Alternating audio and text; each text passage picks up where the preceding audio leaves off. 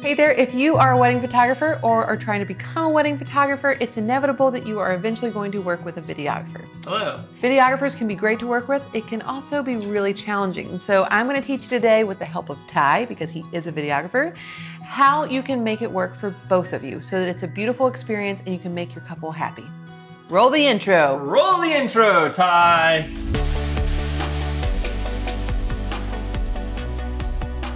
Hey there, I'm Katelyn. Welcome to my YouTube channel. This is my good friend Ty. This Hello. is a place where we like to empower photographers to build profitable and purposeful businesses while also letting you into the behind the scenes of our everyday life. I'm glad you're here. Ty and I have been working together for years, long, long time long time.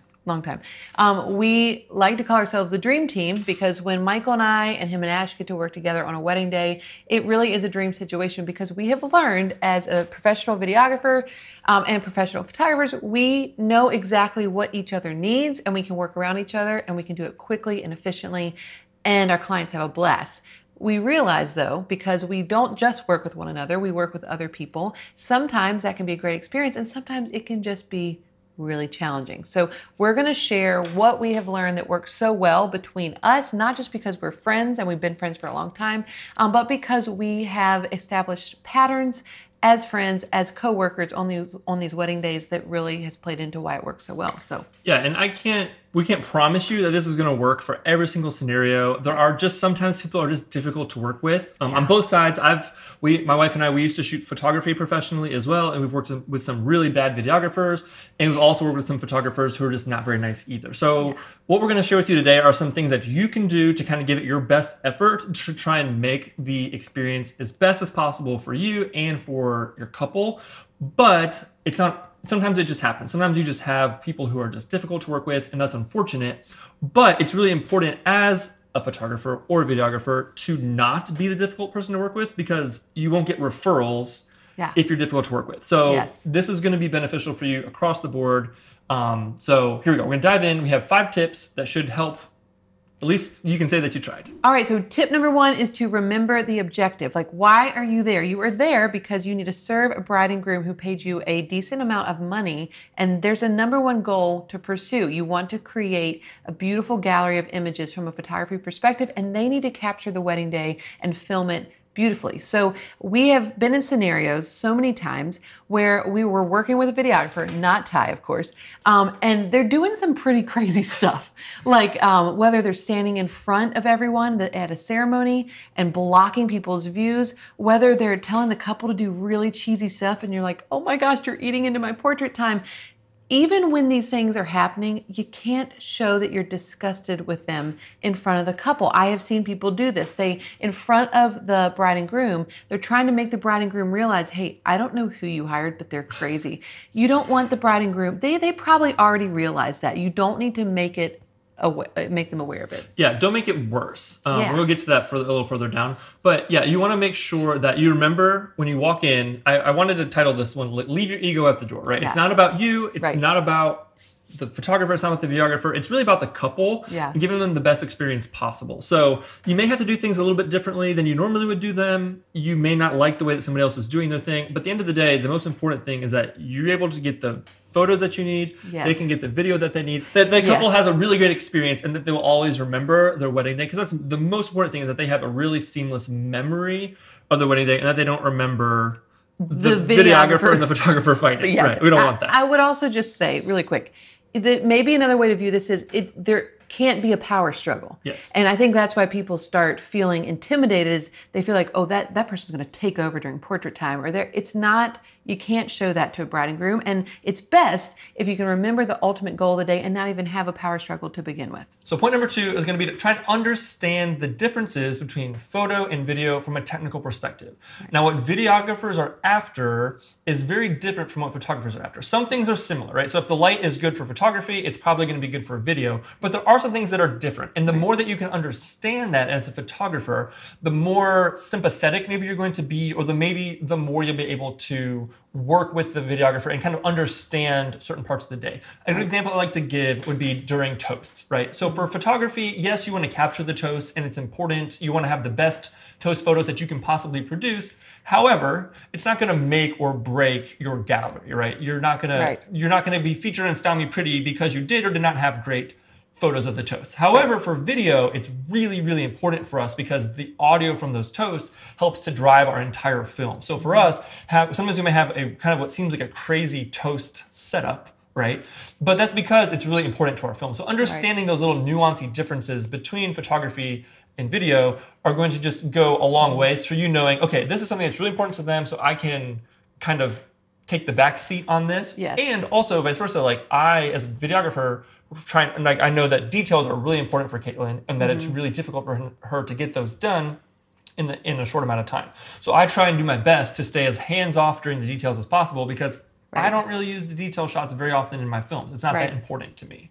And and I would say also there's things like I I know that he doesn't shoot vertically. Everything's horizontal. So when I'm setting up the bride getting ready, I can't just shoot in a, in a situation where, oh, I'm just going to shoot all vertically because there's stuff on the floor. Now, I should probably think a little bit about his perspective. It's really what we're asking you to do is to be empathetic, is to think of the other person um, and to realize that when you start thinking of the other person and, and that's like a mutual exchange, then all of a sudden the day it's like this beautiful, like back and forth, like I'm giving a little bit to you, you're giving a little bit to me. And it's really marketing because you can tell brides about them, they can tell brides in the future about you. And so when you have empathy, you think about one another's needs, all of a sudden it's a beautiful relationship instead of a battle. And the only way you can really have empathy is if you understand the other Yes. person. So I'm going to give you a few of like the biggest things that I think are different that in case you like don't work with videographers very often, you may need to know about. So the first one is going to be audio. Like I kind of mentioned, audio is one of the most important things to our films. So a lot of times um, when there are things happening in the bridal suite, we'll maybe turning the music down, um, capturing the audio of them reading their notes is really, really important to us. So sometimes I'll ask the photographer to photograph selectively and maybe not just be like wailing click, away on their shutter during the note reading. Like just understanding like audio in general is very important to us, which is something you probably aren't thinking about as much Right. as a photographer. Um, when we are capturing things happening, whereas for photography you're capturing like that single moment of you know like the tear falling or the kiss or whatever. For video, we're thinking of the entire sequence from start to finish. We need to capture it basically in its entirety. So what for you may not matter those in between moments are you don't you're not thinking as much about where you're standing or what you're doing or whatever. Those are the moments that we are trying to capture. So our needs for things like the first look and um, processionals recessionals those types of things are a little bit different in that we're trying to capture them in their entirety. We have a lot of Yeah. gear to set up most of the time, so we a lot of we're moving a little bit slower. Um, it takes us a little bit longer. We can't just on a, on a drop of a hat be like, oh yeah, we're ready to go. We're ready to go do this new thing. So just giving us maybe a few minutes heads up. And something we really love is if you offer to help carry some of our gear, we will love you forever. And Which I never do because. I've basically does. Michael, will help. Michael's great. I've been pregnant for the last four wedding seasons, This so. I don't really I had don't help with that. as much. if you're not pregnant and you have the ability to help Pick up some even bags. if you just if it's just like one thing like hey can i carry that one thing that one tripod what if you have an extra hand that makes a huge Yes. huge difference and we'd really appreciate it um, and then the last thing to know is that there is no when we're shooting video there's no raw for video so we have to get things a lot more perfect in camera so like we can't be photoshopping things out um, Mm-hmm. Right. we have to make sure that the light is really good and our dynamic range isn't quite as good as photography quite honestly so sometimes there's certain lighting scenarios for photo that work really great, but for video just like aren't really plausible. So just being aware of those like some of those mm-hmm. technical differences is going to help you be a better teammate to the videographer on a wedding day. So, third thing to remember is that it's going to be in your best interest to over communicate about things throughout the wedding day. So, every single wedding day is different. Every reception location, every portrait location, lighting, everything's different. And so, you're going to need to have a game plan. You're going to need to talk about with one another. You don't want to assume that the other person knows what you're going to be doing. And I think this is when a lot of times, at least for me, a lot of times I can gauge how easy it's going to be with working with a videographer when I start this conversation. Yes. Um, people are either shocked that I'm asking because most people don't, um, or two, they already have in their mind what they're doing and they're not going to budge. But mm-hmm. here's the thing you still want to ask and you still want to introduce the concept of hey we can work together it'd be great if we work together and i've actually seen some very um, hard-hearted videographers who wouldn't give me the time of day when i went to them and said hey what do you need here? Like, what's your game plan? This is what I was thinking. Can we work together? It's all of a sudden like the intensity and, and the the stone face uh, interaction that I've had all morning. That kind of drifts away, and all of a sudden they start to soften a little bit. You know, so when you show them, hey, trying to communicate here, what's the game plan? A lot of times it can change the whole vibe and the tension can die down. Yeah, and the earlier you can do this in the day, the better. So like yeah. what I like to do, like very first thing on the day is like obviously like introduce yourself, try and talk to them, just try and be friendly, just yeah. be like a generally nice person. Yes. But then also like, hey, just so you know, I always say as a photographer throughout the day, like I want you to lead right when it comes to portraits and the majority of the day, you know, I you know, I just want you to know that like I'm totally down with you being in control. Just kind of like setting the ground rules. Like, hey, this yeah. is how I normally work. Hey, I'm very I have this specific type of style or anything just in general to kind of just like establish that. Asking questions. It's always good to ask questions. And then I like to have what I call like a powwow as often as possible. So yes. like anytime you're going to a new a new lighting situation, honestly, any new part of the day, having like a little side conversation of like, hey, okay, so for this first look, I was thinking about doing it in the front yard under the oak tree facing that way. Does that work for you? And if I'm like, ooh, that's how not going to work. It's going to be too backlit. It's going to be completely blown out. What if we pivoted and had it this way instead? And da da da da. That's great. Okay, so when they do the walk up, like, are you going to hold her dress like all the way up, or are you going to let them like just like as many of those things that you can kind of cover mm-hmm. ahead of time, the better. Because the worst thing that can happen is you start doing the first look, and then you realize, oh no, like you're completely in my shot, or I'm completely right. in your shot, or like I can't get what I need, and then we're like fighting and then we get frustrated awkwardly and then trying like, to talk during like, a first look oh. like that kind of like so the more of those conversations you can have and even if you feel like yeah. this is ridiculous like i'm being or over communicating that's better than not under communicating right because once it starts you can't, you can't stop, stop right so right. over communicate as many times you can have those little powwows as possible and also be willing to be flexible which leads me to my third point which is to be flexible, right? If you're a photographer and you're used to working by yourself without a videographer during the wedding day, it's going to look different. Like there's just no way around it. It's going to be a little bit different um, than what you're used to when you have complete control over everything. You're going to have to give it up certain areas here or there. You're going to have to compromise in certain ways. Right. Now, it is important to know where you can be flexible with and when you can't be, but you need to be willing to say, like, you know what, we're going to do things a little bit differently today. But as long as we all walk away with the photos that we need and the videos that we need, then I'm I'm happy. Right. And I would say overall, when you're being flexible, that is noticed by other people, right? Mm-hmm. It's noticed by the bride and groom. And being flexible also comes with um, more professionalism. Like if I have an idea of like, I, I, I want to do this, I want this shot, videographer needs something else, because of my experience level and because of my comfort in posing and lighting, I can normally find a way to make it work. We have a great system where if they need something, I can still shoot alongside of them, not get in their way, and I'm still getting great shots and I don't have to do anything.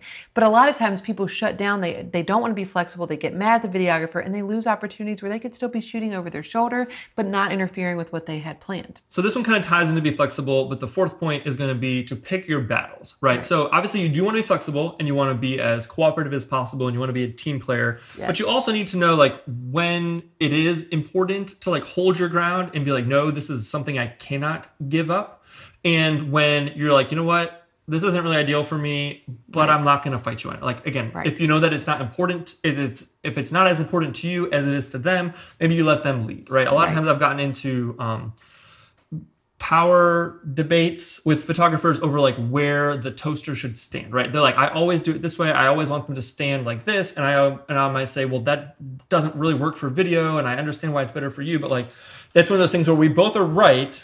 Right. We're not really neither one of us is wrong. Right. But like it's better. It's like, do you want to have that battle or not? And like knowing when to pick your battles is really important. Example for this for me uh, is that you know when I have a wedding day where we don't have a lot of time and we finish a first look and the videographer's like all right we're going to reenact that again and i'm like no we don't have time i have found myself i just have to remind myself like how long is this actually going to take probably two to three minutes. And it goes back to the concept of like they need a broader picture. Like I got the shot of her walking to him, but they need to like pan it without me in the background. Like they need something so different. I have got to pick my battle here and just say, you know what? Yes, of course. Get what you need. I'm going to be empathetic. Get what you need. It's really not going to it's not going to take away that much portrait time. So picking your battles uh, comes back to showing empathy and finding a balance of like they need this i'm going to let them have this because that's really important to them and hopefully they'll return the favor down the line yeah and knowing like in that time, instead of sitting for two minutes being frustrated, you and should just like be shooting. thinking about how mad you are, Yeah. be shooting or take a take a water break, go scout out the next location. Like use the time that yes, it's different. And normally you would just like move right into the next thing, but think like, okay, how can I make the most of these two minutes that I'm losing from portrait time? What can I do to make this up? Maybe that's like you're going to wrangle the bridal party, or you're going to do something with that time. Like, don't just stand there and be like frustrated. Right. Figure out how. Okay, I'm being flexible. We're gonna make this work. Like, Yeah.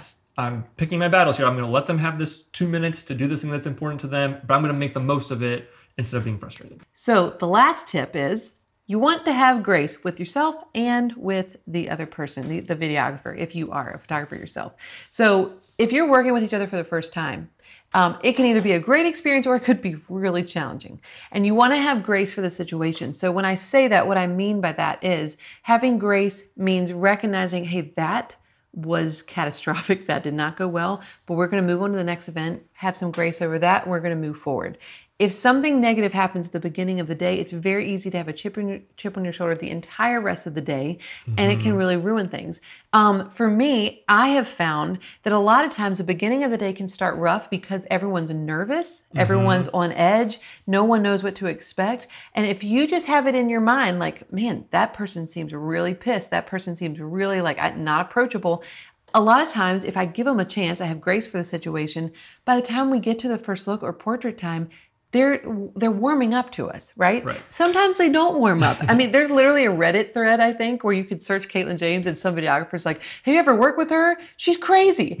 And and I realized like my way of shooting is not great, but what that videographer didn't realize is that if he had just learned to communicate with me and had shot over my shoulder, he could have had seamless transitions of the couple walking up the hill. Like I could have given him movement. Like I could have directed all of the posing Which I love, by the way. he doesn't have to do any posing because I'm just constantly going from one thing to the next. But because he didn't communicate with me and he didn't give us a chance to become friends, he just got mad, stood off on the side, and kind of just counted it as a loss because he couldn't work with me.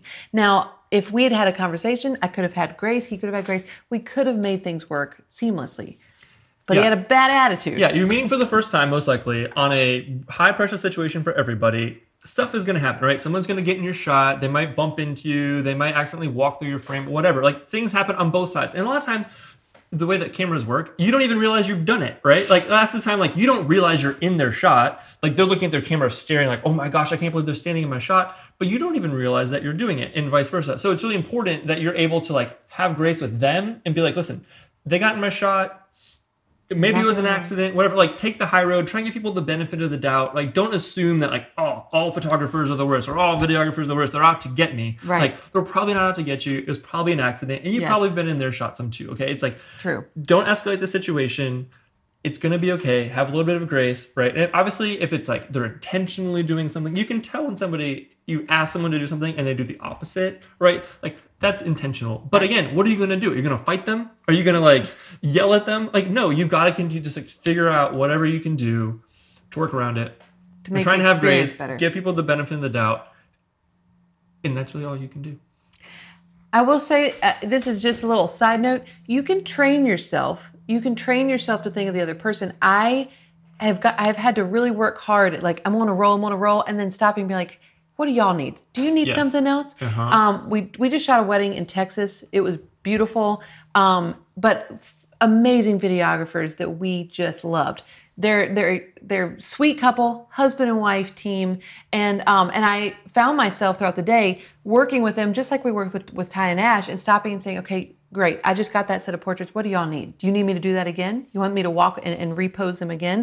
And a lot of times I will stand back and I will use my posing language. I'll use my um, kind of my directions, and the videographers just get to focus on shooting, but they don't have to be talking to the couple, I'm just redoing what I just did. And it's such a gift to them because they can do something more creative because they're not worrying about instructions. Um, so when you are shooting and, and you have some experience behind you, you can train yourself to think, all right, I just got that done. Oh, wait, wait, wait. They might need something. Let me slow down, Katelyn. And I have had to learn that. Sometimes it's been helpful for Ty to be like, all right, KJ, just slow it down. I'm going to ask you to redo that so that I can get a shot. And it's trained me to recognize what other people need. And so really the the overall story of this is let's be empathetic and kind people. it really seems like it should be pretty simple, honestly. Yeah. uh, but these are just some ways that can really help you form great relationships, get great footage, get great images at the same time, and not kill each other. I as, as much as I would love to say that it's been a 50 50 split,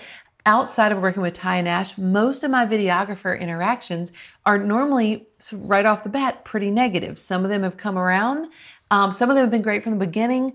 Um, but there's a lot of people that have really hardened perspective, perspectives and opinions towards uh, photographers. So I'm hoping that maybe this can help bring some change to that. All right, one little bonus tip. Um, it is really helpful, especially if you've never worked with somebody before, to reach out to them before the wedding day. Yeah. Um, sending them an email, messaging them on Instagram, kind of whatever you feel most comfortable with, whatever kind of fits your vibe the most, but some sort of a communication ahead of time. And again, this is a really great way to kind of set that foundation of kindness and empathy before you get to the wedding day. And also in a like strategic, subtle way, set some expectations, right? right. Especially if you've worked with a lot of videographers and you know like these are some common maybe like issues I run into or some common questions that I have or whatever. You could you could theoretically make a templated email that's like, "Hey, videographer X, I'm really excited to work with you at so and so's wedding this coming Saturday." Blah blah blah blah. I want to make sure we can work really well together. Here are some things about the way that I work that you may be interested in knowing. Again, you have to figure out like the best way of like wording this, but I think that you can do it in a way that's really strategic that's just like hey this is how i like to work i'm really all about posing when it comes to da, da, da. i want to make sure that you have your time as well so like if you mm-hmm. need any time make sure you like jump in or whatever like again showing that empathy in this email or showing like hey i understand the audio is really important to you so i'm going to do my best to stay out of your way during those audio moments of the day like anything you can do to yeah. just demonstrate like hey i understand where you're coming from this is where I'm coming from. I really wanted this work to work really well together. So that when you see them for the first time on the wedding day, right. it's not this awkward like, power struggle, whatever weirdness. Yeah, or, you've already talked, and you're already like you're you're stressed, like you're past all that. Yeah, you've already talked. The expectations are set. You're all on the right foot. You're you're ready to rock and roll. Right. I think that can really go a long way. And if you want to see some live examples of us working together on a wedding day, what this yes. actually looks like, because we're talking more about sort of like the philosophy of working together, and we're right. not really talking about like the mechanics of yes. actually how do we move? Like how do we, we move and shoot portraits of the bride and groom walking side by side and still get good shots? You yeah. can learn that by watching us actually do it through KJ, KJ Access. Access. There are a handful of episodes where we have been filming the wedding that they're filming for KJ All Access. It's kind of meta, um, but we can link those specific ones down below so you can go like watch individual ones where it's me, or there's, you know, usually with the videographer, how often would you say? Most of the time? I would say 50 to 75% of the 70% time. 70% of the time. So, like, it's kind of like Inception. It's like you're watching us film it, but we're filming it from a, you know, yes. it's really fun. So. so, go check this out. The one that comes to my mind is Christian and Amanda. That's a really good one, one to watch. Best one of the best weddings either of us has ever shot. They're the best. It's at a castle, kind of sort of. It's kind of at a castle. They're the best. We love them. Um, but that's that is a KJ All Access episode. So if you go watch that, just pay close attention to like how we interact what we're doing. And there's lots of parts in there where you can literally see us having those powwows of like, mm-hmm. hey KK, what are you gonna do here? right. So go watch that if you want to see it live in action. Link below. Bye. Bye.